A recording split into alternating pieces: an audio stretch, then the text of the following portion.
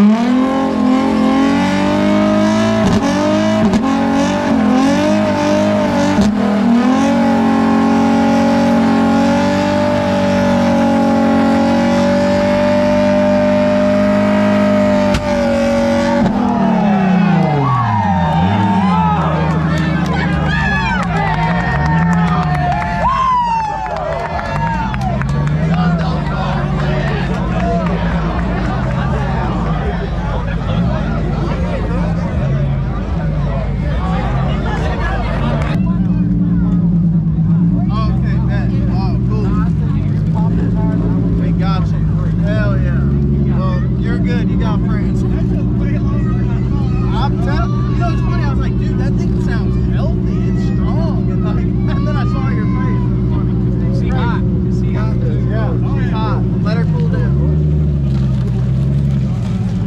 That's funny as fuck.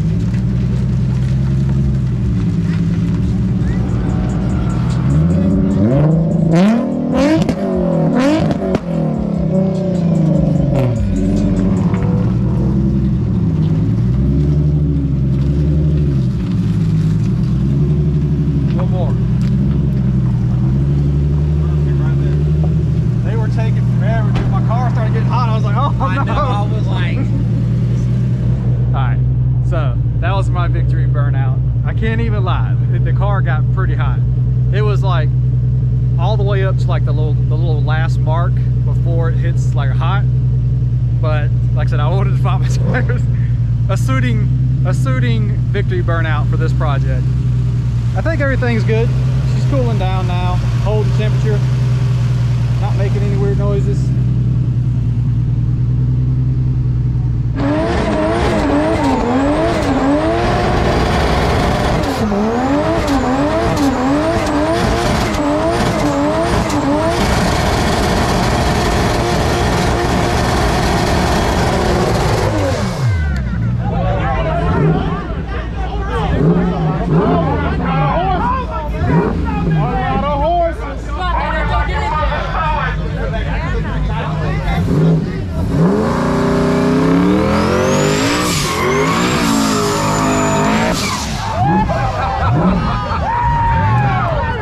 Getting dangerous around here.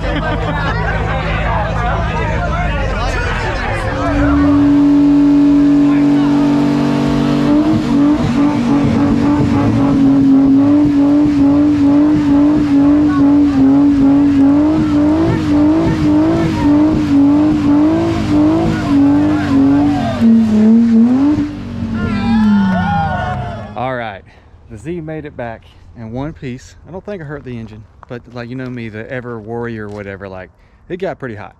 Like it was like right below the bar before the H, and like it happened like instantly too. It was like we're cool, we're good, we're good. I'm looking around. Next thing I know, looking, it's like it's up there. But it seems to be running pretty good, so not too worried. Thanks to those guys at the shop um, because I popped the tires. They mounted some new tires in the back for me. So now it's got to get tires on the front and we'll be ready for drift event. I'm going to try to go to a drift event this Friday and then probably the one after that because I think some of my friends are going to go. So this Friday, I'm going to say. I'm calling it. but I'll let you the tires. It's kind of it's kind of sketchy that I was actually driving on these things, but they're pretty bad. Look at that guy right there. And this side isn't even that bad. I'll show you the other side. But you can see the kit and everything. It's holding up. Pretty good. It got a little bit more uh, angle to turn right there. But I I got my uh, angle kit set up very mild. Like I said, I don't want this to be like a hardcore drift car. I want this to be a car that I can drive every day. It's not rubbing on my inner fenders or anything. So at full lock, I've already done like the parking lot turns. Um, I'll show you guys that in another video. This is the bad tire, look at that. Holy cow. Got the syringes hanging out. And I just stuck myself with like a fucking idiot. Jeez. But yeah, that tire's pretty bad. As you can see, I got like my stops for my angle stop, whatever, like all the way out.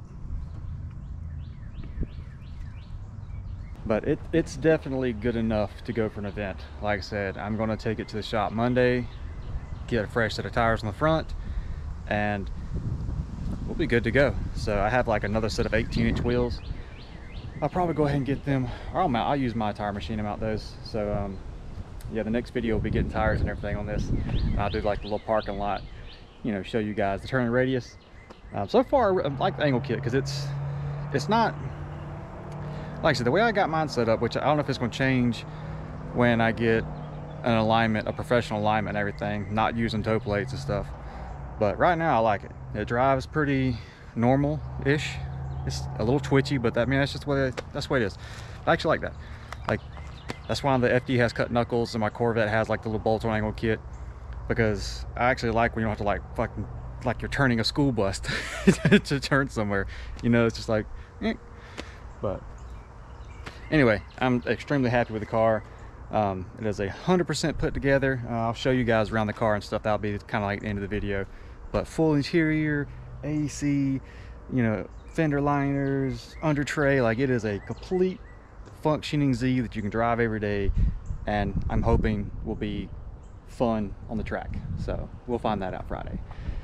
But all right, guys, I'm going to end it with just some beauty, B-roll, whatever of the car, and um, because this might be like one of the last few times you get to see it pretty, because who knows? We'll see what happens. But like always, guys, I appreciate you watching, and we'll see you in the next one.